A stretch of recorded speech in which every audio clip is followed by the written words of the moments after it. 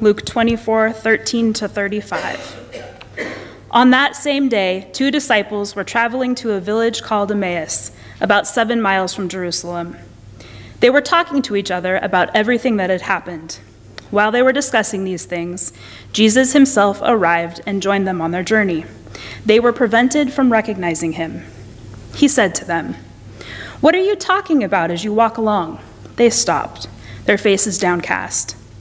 The one named Cleopas replied, Are you the only visitor to Jerusalem who is unaware of the things that have taken place over the last few days? He said to them, What things? They said to him, The things about Jesus of Nazareth. Because of his powerful deeds and words, he was recognized by God and all the people as a prophet. But our chief priests and our leaders handed him over to be sentenced to death, and they crucified him. We had hoped he was the one who would redeem Israel. All these things happened three days ago. But there's more. Some women from our group have left us stunned. They went to the tomb early this morning and didn't find his body. They came to us saying that they had seen a vision of angels who told them he is alive. Some of those who were with us went to the tomb and found things just as the women had said. They didn't see him. Then Jesus said to them, you foolish people, your dull minds kept, keep you from believing all that the prophets talked about. Wasn't it necessary for the Christ to suffer these things and then enter into his glory? Then he interpreted for them the things written about himself in all of the scriptures, starting with Moses and going through all of the prophets. When they came to Emmaus, he acted as if he was going on ahead, but they urged him, saying, Stay with us it's nearly evening, and the day is almost over. So he went in to stay with them. After he took his seat at the table with them, he took the bread, blessed it, broke it, and gave it to them. Their eyes were opened, and they recognized him, but he disappeared from their sight. They said to each other, Weren't our hearts on fire when he spoke to us along the road and when he explained the scriptures for us? They got up right then and returned to Jerusalem. They found the eleven and their companions gathered together. They were saying to each other, The Lord really has risen. He appeared to Simon. Then the two disciples described what had happened along the road and how Jesus was made known to them as he broke the bread. The word of the Lord. Thanks be to God.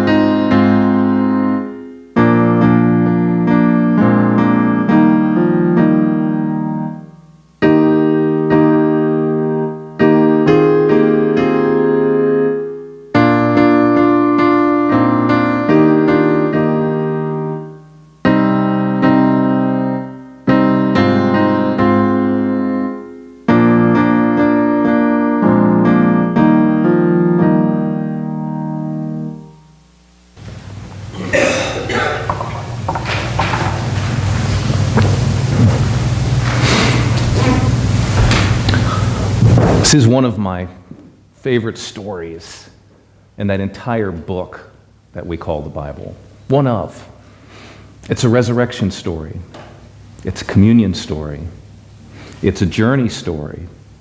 It's the story about the presence of God amongst us and strangers that we meet along the way. I could probably go on and on and on. I love the hearing and the telling and the sharing of this story for so many reasons. Were not our hearts on fire within us when he was present? We couldn't quite tell, but something, something had changed.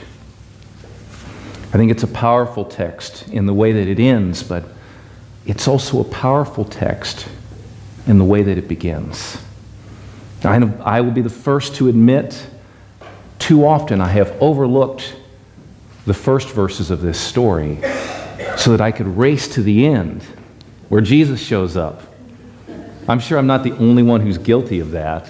That's where we want to get in these stories, right? We always want to get to the part where Jesus arrives. But sometimes we need to stop. We need to pause and sit within the beginnings of these stories where Christ's presence isn't felt, where he seems distant or absent or away. We have these two people who are walking away from Jerusalem, and if you caught it at the beginning of the, reason, the reading, it was on that same night. The hint there being this is Easter Sunday evening. This is right after the story of the resurrection. So don't let the fact that it's a couple weeks later now that we're talking about it distract you from when this story took place. It was that very night. So they were close enough to have known the story of the women going to the tomb and discovering it empty. But they didn't know much beyond that, and they were at a loss. They were taking that long road home from Jerusalem in defeat. We had hoped. We had hoped that he was the Messiah who was going to restore Israel. We had hoped he was going to be the one that would restore our relationships to God. And here we are going home. He's been crucified, his body is missing. It would seem that all is lost. There's something powerful about the idea of two friends or two family, whomever they may have ultimately been. The story doesn't tell us much about them, but the fact that they were journeying together and they were sharing and they were lamenting, and they were discerning, and they were processing and trying to figure out what had just happened because we had hoped, implying had, no longer, now. And yet, in their sharing with one another, the presence of the stranger, the presence of Christ emerges. And then in the breaking of the bread, it becomes alive, and they recognize in that moment that something powerful has taken place. Amen. But they had to get through the first part of the day. They had to move through the questions and the pain and the hurt and the feeling that God was absent in that moment when they needed God most. Surely they are not the only two people who have ever been in that space. Surely this is an experience that we all have shared at different times in our life. God, where are you? I am feeling pain. I am feeling hurt. I am confused. I have questions. I have doubts. I have fears. Where are you, O oh God? We feel defeated. We're looking but we can't find you. This past week, I went on Monday evening into Seattle, and I went to a service of remembrance for the Holocaust at Temple de Hirsch Sinai. Uh, I have the great gift of my cousin being a rabbi in that community, but it was also a great gift to come and to share in this service. They did what I thought was a beautiful thing, and they tied the questions of the present day refugees who are fleeing war, who are fleeing for their lives, and put that together with the stories of the Holocaust and those who wanted to flee, who were desperate to save their own lives. It was a compelling and jarring experience all at the same time, but I remembered the story of a person there she was sharing. Uh, and she works with an aid relief agency for refugees, but she shared uh, remembrance of traveling in Europe. And in her travels, she was able to visit a couple of the death camps and to see the places where this great Holocaust was enacted, where those who could not flee were sentenced to their deaths in these horrible horrible conditions in horrible, horrible ways. And that, in and of itself, is enough to put you in a place of walking that long road home and wondering, where is God? Where were you in all of this?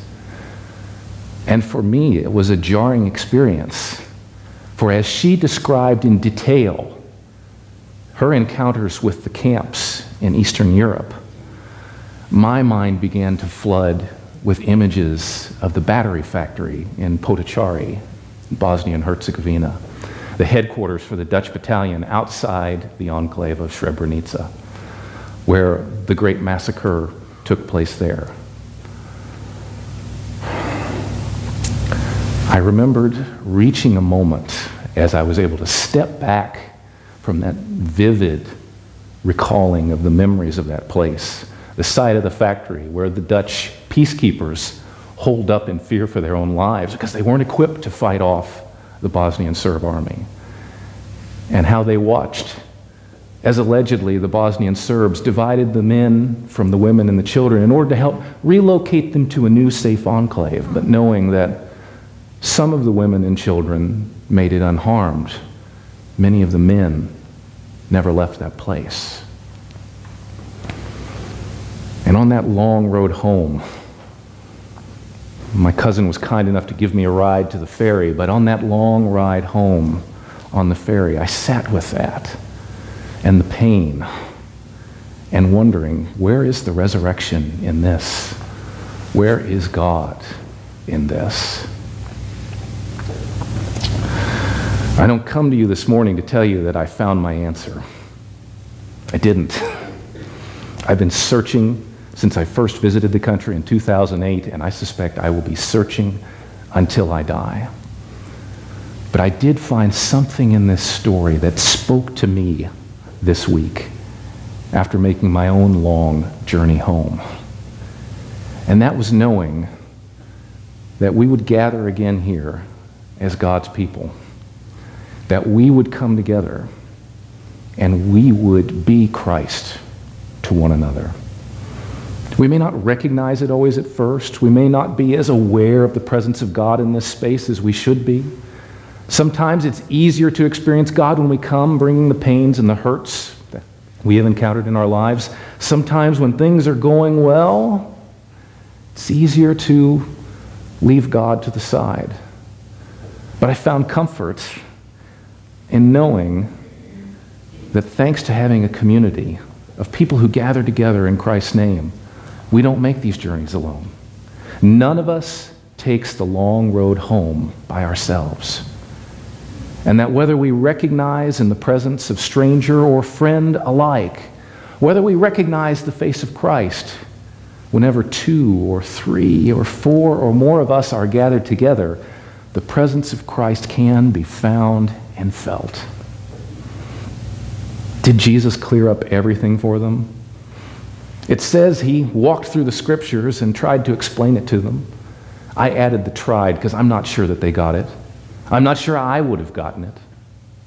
But he spoke to them.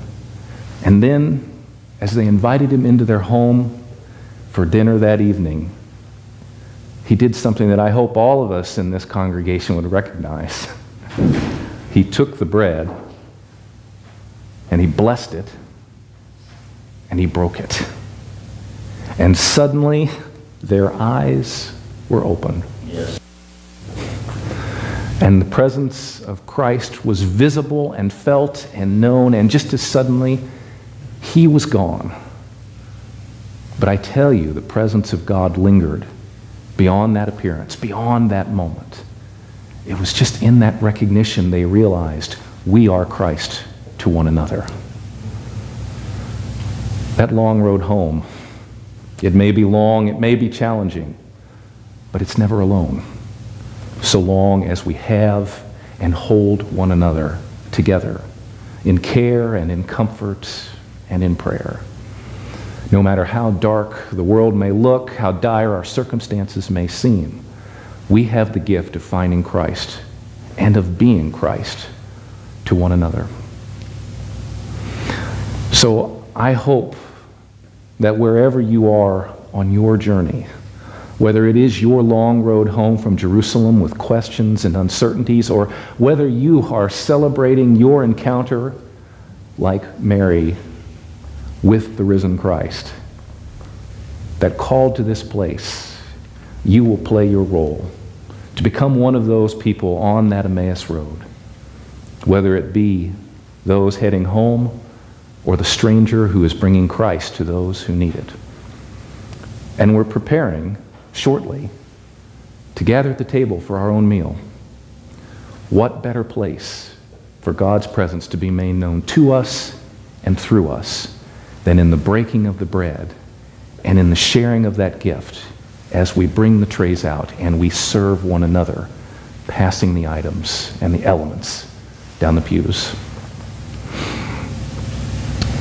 Sometimes we have to sit at the beginning of that story. But the good news is we are all called to live out the end of that story as well.